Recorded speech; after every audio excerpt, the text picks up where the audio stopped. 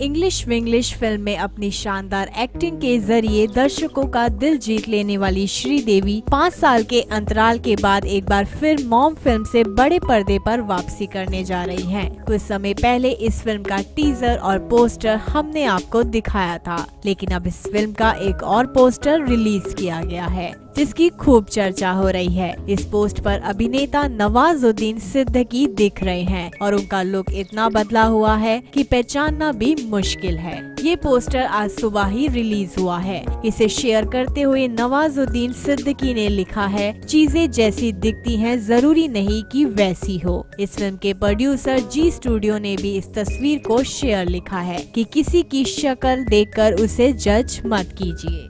रवि उदयवार के निर्देशन में बनने वाली इस फ़िल्म में श्रीदेवी मुख्य भूमिका में हैं। फ़िल्म का नाम अंग्रेज़ी में लिखे जाने के अलावा पोस्टर पर कई भाषाओं और तरीकों से मॉम लिखा गया है फ़िल्म की कहानी और पटकथा का अभी खुलासा नहीं किया गया है मॉम फ़िल्म में अक्षय खन्ना, अभिमन्यु सिंह और पितो बर्ष त्रिपाठी भी नज़र आने वाले हैं। नवाजुद्दीन सिद्दीकी गेस्ट भूमिका में नज़र आएँगे। ये फ़िल्म 7 जुलाई 2017 को रिलीज़ होने वाली है। ऐसी ही और लेटेस्ट अपडेट्स के लिए सब्सक्राइब करना ना भूलें। हमारा ये चैनल।